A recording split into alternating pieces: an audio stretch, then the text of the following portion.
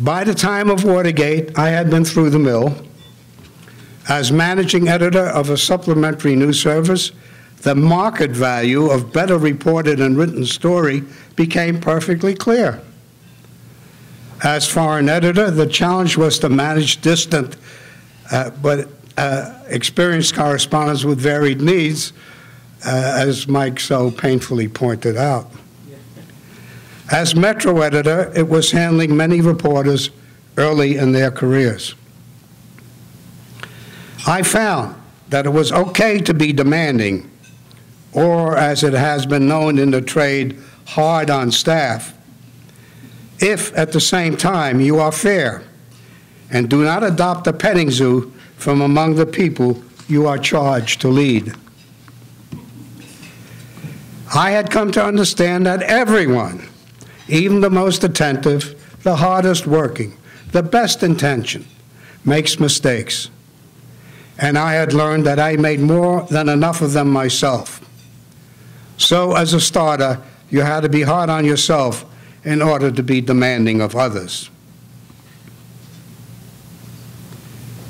What helped take me into journalism and not into trade was rooted in my childhood.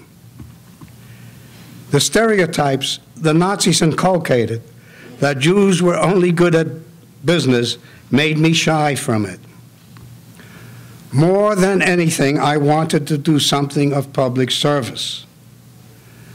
Journalism struck me early on, before I graduated high school, as the best way for me to do that. The kind of newspaper man I became, whether or not I was aware of it at the time, certainly was shaped by my childhood experience. The more I looked back with my old man's eyes, the clearer it became to me that while it was not fated, it was no accident that I was attracted to journalism. For the essence of American democracy, for all aspiring to democracy, is a free press to hold to account the accountable, especially when there is no other entity that will do so. When Watergate broke, I did not have lofty thoughts, not one. What I had was an unusual and self evidently important story for my local staff to do.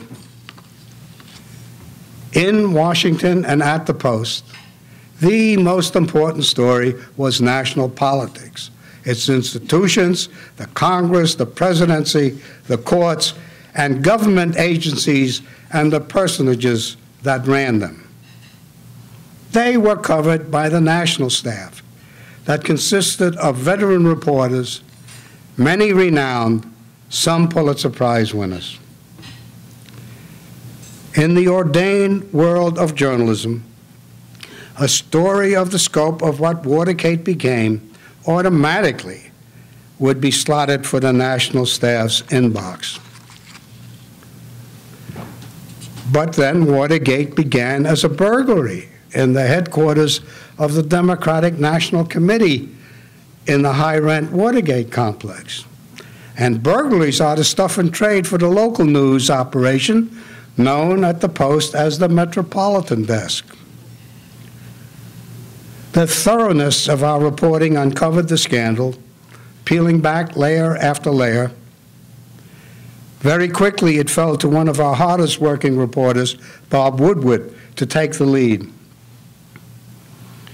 It was somewhat more surprising that Carl Bernstein turned out to be his partner, as together they relentlessly pursued the story that the Nixon administration was taking extraordinary and illegal means to cover up.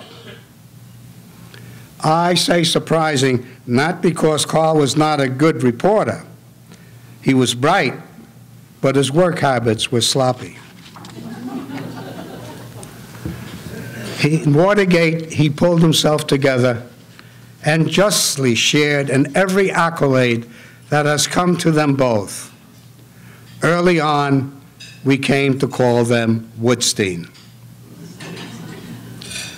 Both were good thinkers, Carl the more audacious and hasty, Bob the more careful and slower to jump to conclusions.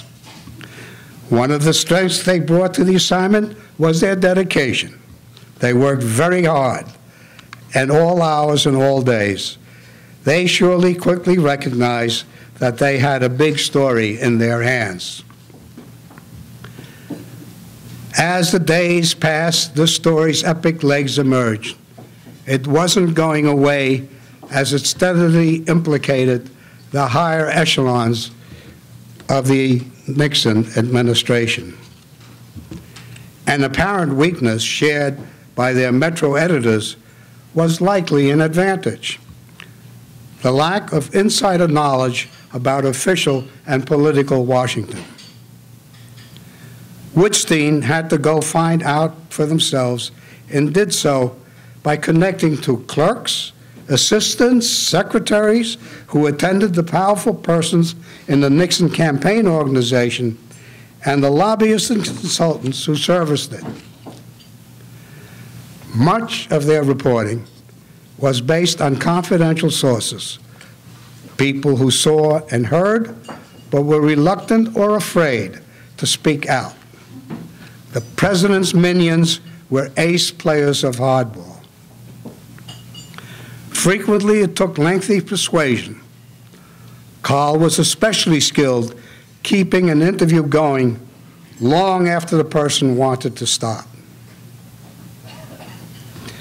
As our reporting progressed, it became increasingly incumbent for me to be extraordinarily vigilant. I had to make doubly sure that what we put into the paper was solid.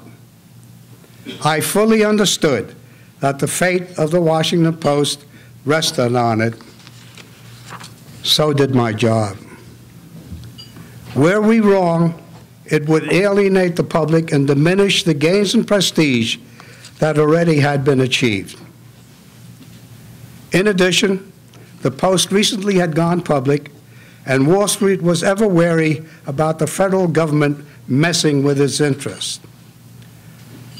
The Post also owned federally licensed television stations. Those licenses were threatened by the Nixon cohort. In the immortal words of that great public servant, John Mitchell, the Republicans were going to do a number on us to keep us on the right side. It was imperative that we adhered to the demands of traditional hard reporting, forsaking the highly personal point of view approach that was the hallmark of the new journalism, a force in media since the preceding decade. During that time, the word objective lost respect, indeed was widely regarded as a pejorative because it was viewed as an obstacle to getting at the real truth. It is a given that perfect objectivity is no more attainable than perfect justice. That doesn't mean that the courts and the processes of justice should be abandoned. It does mean they should be reformed. They remain the bedrock of our democracy. And so I argue objectivity is to journalism. Necessary despite its imperfections, a part of the very same foundation. Objectivity does not require reporters to be neutered. They have, and they should have, ideas, preferences, biases, points of view that are the product of the social culture out of which they emanate. What they must also have is awareness of those predispositions lest they undermine their work. Watergate has legacies. In the media, the use of confidential sources and their very mystique ranks high. Widespread reliance on them by the Washington Post in Watergate excited a constant drumbeat of criticism. But Watergate proved that the careful use of confidential inform informants was in the first place essential to unlock illegal activities.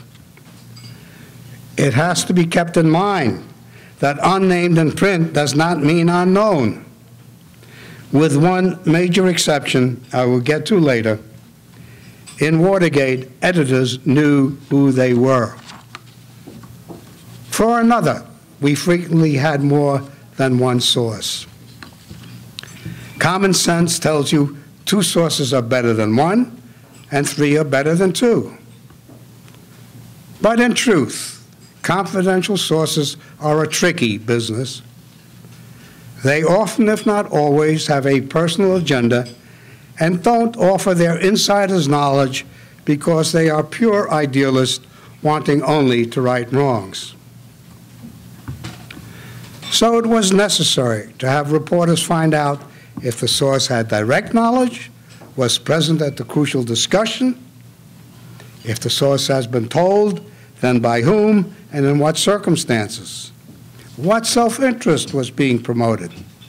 This helped us to evaluate.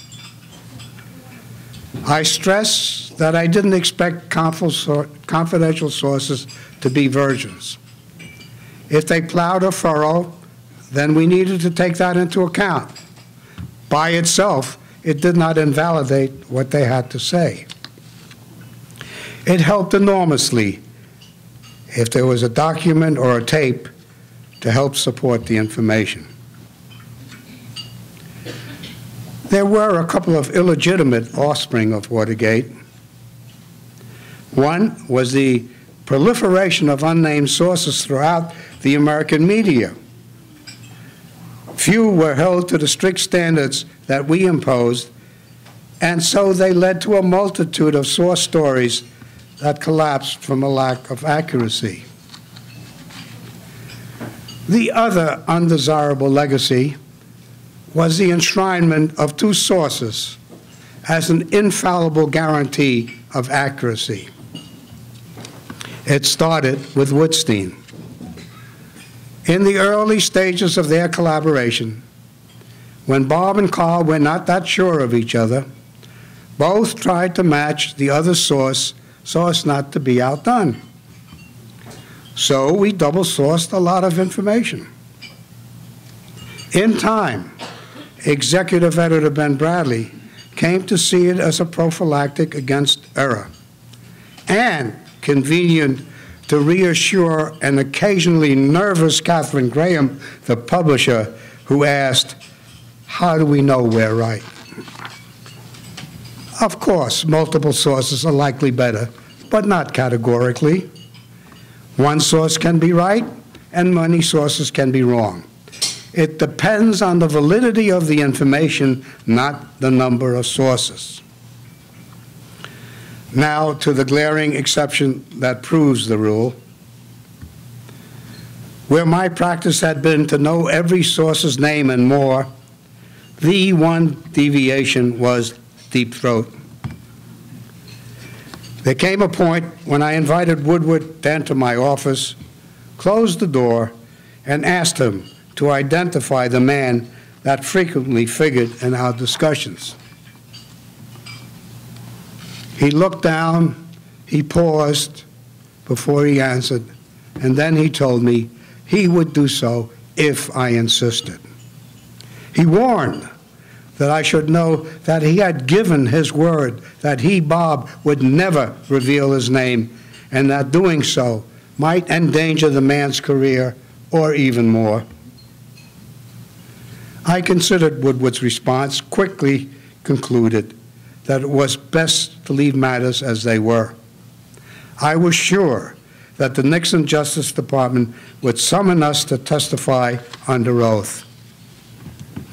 I knew Woodward would never tell and thus face incarceration. I knew I would not tell, and I decided that under that circumstance, many of us as possible remain free to pursue our investigation. It was only years later that I came to understand I should have insisted. At least one other person besides the reporter, more would be better, needs to know how to validate the reporter's judgment and to protect the interest of the newspaper. But I pray that the most enduring legacy of Watergate remains the importance, no, the indispensability of investigative journalism to our democratic society. The free and constitutionally enabled press exists to take on the challenges of corrupt or worse, repressive government. The three branches that govern the United States did not succeed in dealing with the crisis of Watergate until they were informed and goaded by the press to face up to their responsibilities. Congress was tied up in its own self protective machinations. The courts were on the fringes until a case was brought to them, and even then, government prosecutors pulled their punches. The executive was committing the crimes, deploying its police forces to cover up and unleashing its great powers to thwart the press for a long time, mostly the Washington Post. In the wake of Watergate, the Congress and the presidency bestirred themselves to enact laws intended to prevent a recurrence of the abuses of the Nixon administration. As many reforms, they had a shelf life that wasn't all that long. The special prosecutor, crucial to unraveling the Nixon conspiracy, turned out to be a runaway instrument of political headhunting during the Clinton administration. The financial reporting reforms intended to thwart the use of political contributions for illegal purposes gave way to the political parties wanting that money more. The Supreme Court made matters worse when it ruled that money was free speech, defying the logic that speech is speech and money is money. Limitations placed on domestic intelligence operations, including congressional oversight, enactment of the Foreign Intelligence Surveillance Act, and the ban on political assassinations, all sundered in the aftermath of 9 11, if not before.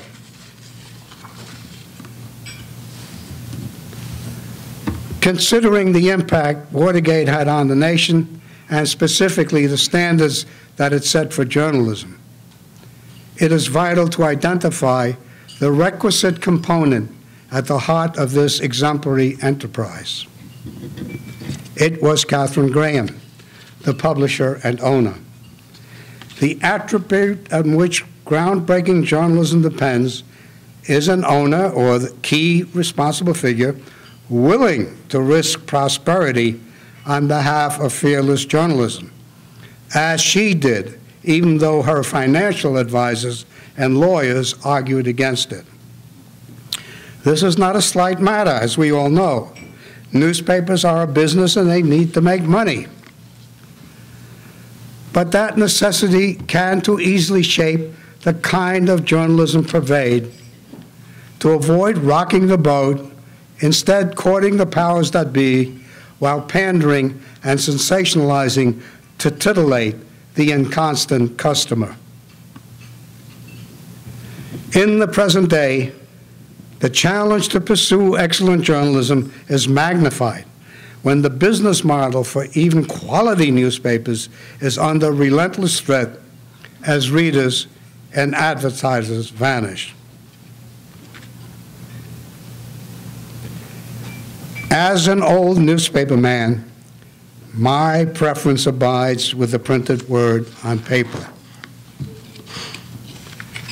But as an old newspaper man looking over the array of technological inventions that seemingly expand by the day, I say with an open heart that the format does not count for as much as the content.